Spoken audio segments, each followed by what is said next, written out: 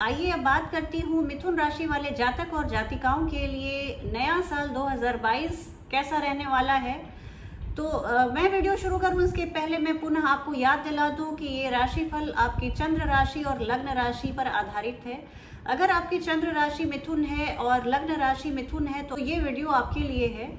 अगर आपकी लग्न राशि और चंद्र राशि दोनों एक ही है यानी आपके लग्न में ही चंद्रमा है तो आपकी दोनों राशियाँ एक ही हैं।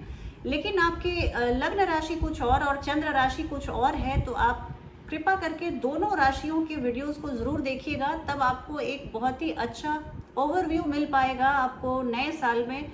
आप क्या एक्सपेक्ट करें, इससे, इसकी आपको जानकारी बहुत अच्छे से मिल पाएगी। तो बात मैं शुरू करती हूँ मिथुन राशि वाले जातकों के लिए। तो देखिए, मिथुन राशि वाले जातकों के लिए आप 13 अप्रैल को बृहस्पति आपके दशम भाव में आ जाएँगे मीन राशि में। और राहु मेष राशि में ग्यारहवें भाव में, मेष राशि जो आपका ग्यारहवा भाव होता है, वहाँ पे 12 अप्रैल को प्रवेश कर जाएँगे। इसके अलावा अप्रैल महीने में ही 29 अप्रैल को शनि आपके कुंभ राशि में प्रवेश करेंगे और 12 जुलाई को 12 जुलाई को शनि पुनः वक्री होकर मकर राशि में आपके आठवें भाव में, अष्टम भाव में प्रवेश कर जाएँगे। मोटे तौर पे मैं देख रही हूँ कि मई से अक्टूबर के बीच में आपके जीवन में गजब की गति आने वाली है। आपके कई रुके पड़े प्रोजेक्ट्स सब पूरे होते हुए दिख रहे हैं। आपके बहुत ऐसे सपने जो बिल्कुल आपको लगता था कि पता नहीं कभी अचीव कर पाऊँगा या कर पाऊँगी या नहीं वो सभी पूरे होते हुए दिख रहे हैं। इसके अलावा मैं आपको ये सलाह दूँगी कि इस वर्ष आप थोड़े से अपने आ, काम के बारे में बताने की अपेक्षा आप उन कार्यों को करने में ज़्यादा फोकस रखिएगा, क्योंकि ये समय इतना फेवरेबल है कि इसको आप थोड़ा भी वेस्ट करने की वेस्ट करना आप अफोर्ड नहीं कर सकते हैं। तो आप इस तरह की चीज़ों में समय की बर्बादी से आप बचिएगा और अपने लक्ष्यों के बारे में आप एक मन ही मन चर्चा ज़रूर कीजिएगा कि आपको क्या लाइफ में चाहिए, क्या एक्सपेक्टेशन है और इसे पाने के लिए आप कैसे प्रयासरत हो सकते हैं? जनवरी महीने में आपको प्रेम जीवन को लेकर थोड़ी सी कश्मकश की स्थिति रह सकती है। आपको ऐसे एक बंधन जैसा महसूस हो सकता है कि आप इस रिश्ते में बंध गए हैं, आप बंधन मुक्त होना चाहते हैं। इस तरह की एक अंदर से बेचैनी या छटपटाहट से आप दो चार हो सकते हैं। आपको देखिए, अप्रैल महीने में कुंभ राशि में जब शुक्र और मंगल एक साथ प्रवेश कर रहे हैं अप्रैल के महीने में मैं आप एक ब्रेकअप की स्थिति देख रही हूँ। हालाँकि आपको कुछ दिनों के लिए अवसाद या डिप्रेशन का सामना करना पड़ सकता है, लेकिन आप ये मत भूलिएगा कि आपकी भलाई में जो था, ईश्वर ने, प्रकृति ने वही किया। और एक ऐसे टॉक्सिक रिलेशन से आप शायद निकल कर एक बहुत ही खुशनुमा और एक फ्रेश रिलेशनशिप की ओर आप बिल्कुल आगे बढ़ेंगे, जो आपके जीवन में बहुत लंबे समय तक खुशियों की बहार लेकर आएगा। अगस्त के महीने में आपका मन बिल्कुल खुशियों और आनंद से भरा हुआ रहेगा। ये समय आपके लिए बहुत ही अच्छा है। आपके एक बहुत ही वफादार रिश्ते में आप अपने को पाएँगे। और ये जो समय है, आपका प्रेम जीवन अपने चरम पे होगा। देखिए शनि हालाँकि आपके अष्टम भाव में रहेंगे, जिससे आप ये एक बात तय है कि पूरे वर्ष आप बहुत नए नए लोगों से मिलेंगे नई नई अपॉर्चुनिटीज़ आएगी और आपके जीवन में नई नई पॉसिबिलिटीज़ भी आएँगी। साल के शुरुआती छः महीने थोड़े से टैक्सिंग हो सकते हैं। लोगों की मांग आपसे ज़्यादा बढ़ सकती है। शुक्र आपके जीवन में थोड़ी बहुत संघर्ष की स्थिति ला सकता है। आप कुछ नैतिक और अनैतिक कार्यों के बीच में अपने को द्वंद्व की स्थिति में पाएँगे उहापोह की स्थिति, कुछ कंफ्यूजन कुछ आप डबल माइंड में रह सकते हैं। और जनवरी के महीने में अगर मैं एक बार पुनः बात करूँ तो देखिए, नवम भाव में बृहस्पति आपके भाग्य को बहुत चमकाने आ रहे हैं। ढेर सारी नई पॉसिबिलिटीज़ नए अवसर आपके सामने आएँगे। आपके जो, आपके फादर के लिए, आपके पिताजी के लिए भी बहुत ही लकी समय रहने वाला है। और व्यापारिक और व्यवसायिक सफलता से भरा हुआ ये समय रहेगा। अप्रैल के महीने में देखिए, बृहस्पति पुनः आपके दशम भाव में जाएँगे और दशम भाव में उनका गोचर धन संपदा की वृद्धि करेगा। आपका जीवन रोमांच से भरा हुआ रहेगा। जून के महीने में शुक्र देव की ऐसी दृष्टि पड़ेगी कि आपके प्रेम जीवन में आपको बहुत ही खुशियों से और बहुत उत्साह से भरा हुआ आपका प्रेम जीवन रहेगा। और ये आपका सेकंड नेचर बन जाएगा। लोगों को स्नेह देना, लोगों से प्रेम से बातें करना, ये आपके बोली में बहुत मिठास भरी रहेगी। अगस्त और सितंबर के महीनों में वृषभ राशि में मंगल लाएँगे जो आपको बहुत दृढ़ता प्रदान करेंगे। इस अवधि में आप कुछ भी नए प्रोजेक्ट्स को शुरू कर सकते हैं, आपके पराक्रम में वृद्धि होगी और हालाँकि इस दौरान आपके खर्चे बढ़े हुए रहेंगे। साल के अंत में शनि अष्टम भाव में आपकी उपलब्धियों और पहचान को तो बढ़ाएँगे ही। इसके अलावा आपके घर परिवार के लिए, आपकी अचल संपत्ति के लिए रियल स्टेट प्रॉपर्टीज़ को खरीदने या बेचने के लिए एक बहुत ही अच्छा समय हो सकता है और इस समय आप कुछ ऐसे डील को आप क्रैक कर सकते हैं जो बहुत आपके लिए मुनाफे से भरा हुआ रहेगा। पार्टनर्स आपके लव पार्टनर्स बिज़नेस पार्टनर्स सब आपसे नज़दीक आएँगे। ये आपके लिए बहुत ही एक अच्छी खबर है। और ऐसे अगर मैं बोलूँ इन जनरल बोलूँ तो बहुत सारी राशियों के लिए ये एक समय उतार चढ़ाव से भरा हुआ रहेगा, वैसे ही मिथुन राशि के लिए भी। लेकिन जब ये चढ़ाव आएगा इस वर्ष आपको चंद महीनों में तो आप फिर आपका बिल्कुल मन खुशी से फूले नहीं समाएगा। और आर्थिक जीवन की मैं बात करूँ तो देखिए आप भाग्य की बदौलत आप आय के नए स्रोत को पाते हुए दिख रहे हैं। अगर आप कड़ी मेहनत करते हैं तो आपको 2022 में कोई पछाड़ नहीं सकता, आपकी कोई सानी नहीं रहेगी। इसके अलावा मैं आपके प्रेम जीवन पर पुनः एक बार आती हूँ तो ये आप, मैं पुनः बता दूँ कि प्रेम जीवन आपका बहुत ही अच्छा रहने वाला है। 2022 में आप दोनों प्रेमी प्रेमिका जोश और उत्साह से भरे हुए रहेंगे।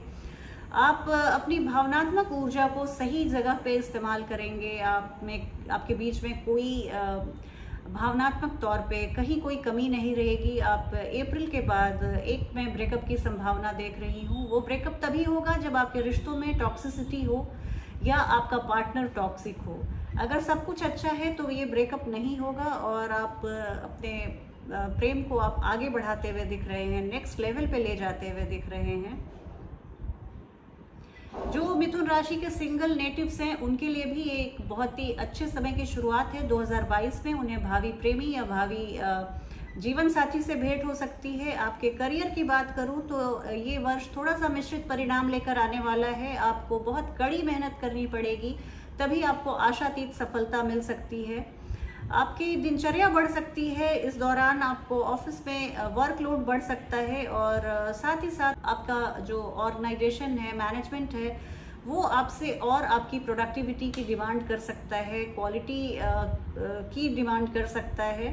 अगर मिथुन राशि वाले विद्यार्थियों की बात करूँ तो ये एक 2022 आपकी शिक्षा के दृष्टिकोण से एक बहुत ही अच्छा शानदार समय रहने वाला है।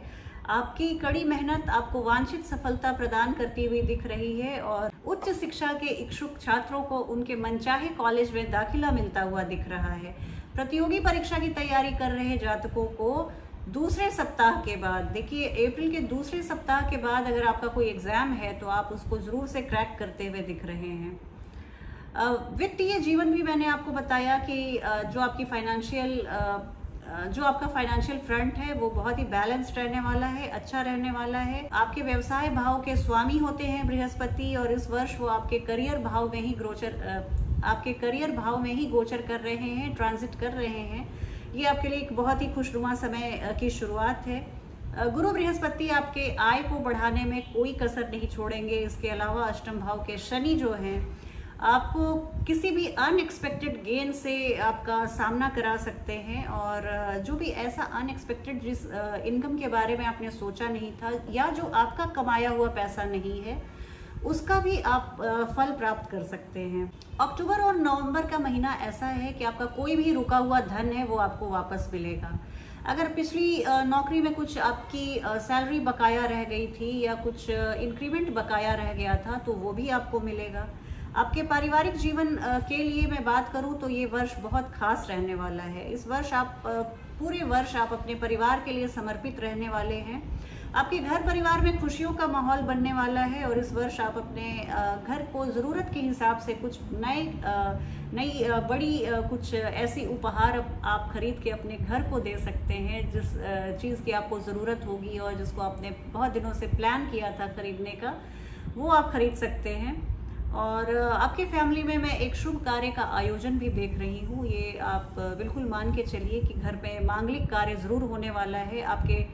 और इसी तरह मैं आपके संतान पक्ष की बात करूँ तो देखिए, बृहस्पति और शनि की युति इस वर्ष के शुरुआत में आपको, आपके संतान की दृष्टि से बहुत शुभ फल प्रदायी रहने वाली है।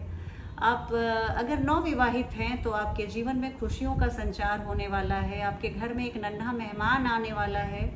और आप, या आपके ऑलरेडी आपको संतान सुख प्राप्त है तो बच्चों की पढ़ाई से आपको खुशियाँ मिलने वाली हैं। बच्चों के प्रोग्रेस से, उनके डेवलपमेंट से आपका मन बिल्कुल फूले नहीं समाएगा। अगर आपका बच्चा विवाह योग्य है तो उसकी शादी के प्रबल योग हैं। और अप्रैल के बाद का समय थोड़ा सा समय मुश्किल हो सकता है बच्चों के लिए, लेकिन अगर आपकी सेकंड चाइल्ड की अगर मैं बात करूँ, दो बच्चों में मैं छोटे वाले बच्चे की बात करूँ तो उसके लिए ये वर्ष बहुत शुभ रहने वाला है। मिथुन राशि वाले जहाँ तक मुझसे अपने विवाह के पॉसिबिलिटीज़ के बारे में बात करें तो मैं उनको यही बोलूँगी कि शादी के लिए, शादी ब्याह के लिए ये जो वर्ष है मिथुन राशि के जातकों के लिए। देखिए, अभी जो मैंने बताया, वो मिथुन राशि के संतान के लिए शादी का बहुत ही अच्छा समय है। लेकिन अगर आप खुद मिथुन खुद मिथुन राशि के जातक हैं तो ये समय थोड़ा प्रतिकूल है। अगर आप एक साल रुक जाएँ तो वो आपके लिए ज़्यादा बेटर है। जैसे जैसे वर्ष बीतता जाएगा, समय आपके लिए सकारात्मक होता जाएगा, शुक्र की स्थिति बदलती जाएगी और वो आपके लिए फेवरेबल करते जाएँगे समय। वैवाहिक जीवन अगर आपकी पहले से शादीशुदा आप अगर पहले से शादीशुदा हैं तो आपके वैवाहिक जीवन में एक स्थायित्व आएगा और आपके प्रेम में भी प्रगाढ़ता बढ़ेगी, आपके वैवाहिक जीवन में रोमांस का संचार होगा। तो इस तरह से मैं देख रही हूँ, आपके मैरिड लाइफ में बहुत ही अच्छा समय रहने वाला है। अगर आप मिथुन राशि के हैं और व्यवसाय से जुड़े हुए हैं, आप बिजनेसमैन या बिज़नेस वुमेन हैं तो आपके लिए एक बहुत ही अच्छा समय है। व्यवसाय में लाभ की उम्मीद जता सकती हूँ मैं। आप कोई नए प्रोजेक्ट पे काम कर सकते हैं, वो आपके लिए बहुत ही इकोनॉमिक इकोनॉमिकली वायबल रहने वाला है। मैं आपको सलाह दूँगी कि अगर आप बिज़नेस को एक्सपैंड करना चाहते हैं, या अपने बिज़नेस को एक्सपैंड करना चाहते हैं, या किसी नए प्रोजेक्ट पे काम करना चाहते हैं तो आप जून के पहले, जनवरी से जून के बीच में इस काम को अंजाम दें। अदरवाइज़ मैं जून के बाद किसी नई शुरुआत के लिए उतना फेवरेबल समय नहीं देख रही हूँ। व्यवसाय में व्यवसाय में धोखाधड़ी या बिज़नेस पार्टनर्स से किसी ब्रीच ऑफ़ ट्रस्ट की आप उम्मीद कर सकते हैं। इसलिए आप अपने इसलिए आप अपने बिहेवियर को इतना परफेक्ट रखिए और खुद आप एकदम अलर्ट रहिए, सतर्क रहिए। किसी भी बात में आपको कोई मूर्ख ना बनाए, आपको, आपके सीधापन का कोई फ़ायदा, आपके शराफत का कोई फ़ायदा ना उठाए, इसका आप ध्यान रखिएगा। क्योंकि आप किसी भी प्रकार के धोखेबाजी या धोखेबाज के संपर्क में आ सकते हैं। अगर आप संपत्ति या वाहन खरीदने की सोच रहे हैं तो 2022 का समय इन चीज़ों के लिए मध्यम रहेगा। इस वर्ष हालाँकि आपकी आर्थिक स्थिति बहुत अच्छी रहेगी, लेकिन अगर आप अपने आप को बिग टिकट आइटम खरीदने से रोक सकें तो आपके लिए बहुत ही अच्छा रहेगा। वैसे ग्यारहवें भाव पर शनि की दृष्टि है। आपके सुख सुविधाओं में ज़रूर बढ़ोतरी करेंगे और अप्रैल के बाद चौथे भाव पर गुरु की दृष्टि पड़ेगी, सप्तम दृष्टि पड़ेगी तो यहाँ से आप किसी भी तरह के गोल्ड, ज्वेलरी जेम्स इस तरह के भवन, भूमि, इन सब चीज़ों को खरीदने की प्रबल संभावना दिख रही है। आप बिल्कुल रोक नहीं पाएँगे। और अगर मिथुन राशि वाले लोगों के लिए सबसे इंपॉर्टेंट बात, मैं स्वास्थ्य की बात करूँ तो देखिए शनि बहुत समय तक आपके अष्टम भाव में रहेंगे और केतु छठे भाव में रहेंगे। तो मैं देख रही हूँ कि मिथुन राशि वाले जातकों को अपने स्वास्थ्य की बहुत चिंता बनी रह सकती है, लेकिन आप अपने स्वास्थ्य को खूब संभाल के रखिए, उसका ध्यान रखिए तो आपको कोई भी बड़ी परेशानी नहीं आएगी। खान पान और रहन सहन के प्रति आप बिल्कुल सजग रहिए। किसी भी तरह की आप अपने सेहत को लेकर खिलवाड़ मत कीजिएगा। आपको रक्त और वायु से संबंधित कुछ विकार ना होने पाए, इसका आप ध्यान रखिएगा। आप ज़्यादा फैटी फ़ूड और जंक फ़ूड से अपने आप को बचाइए।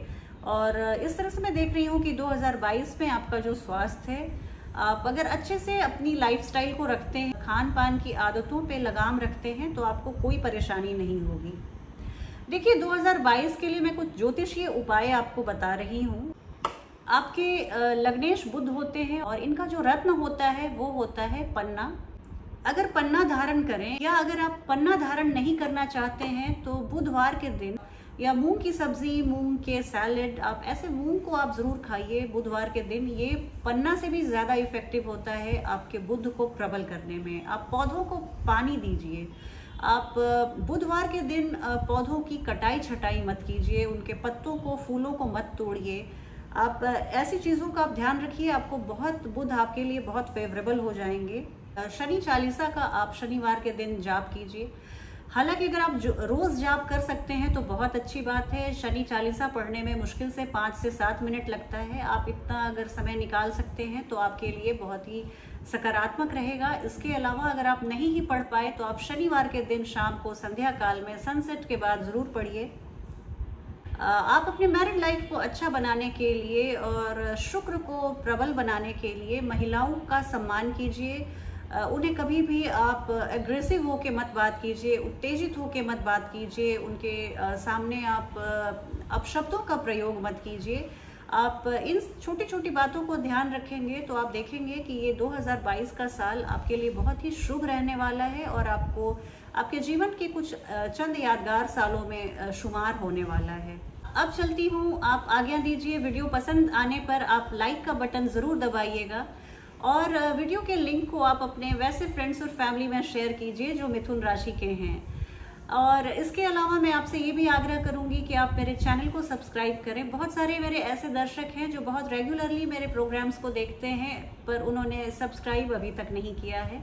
मैं आपसे पुनः निवेदन करती हूँ कि आप मेरे चैनल को सब्सक्राइब करें और मिलती हूँ अब आपसे एक नई वीडियो में। बहुत जल्दी तब तक आप अपना ध्यान रखिए। जय हिंद, जय भारत।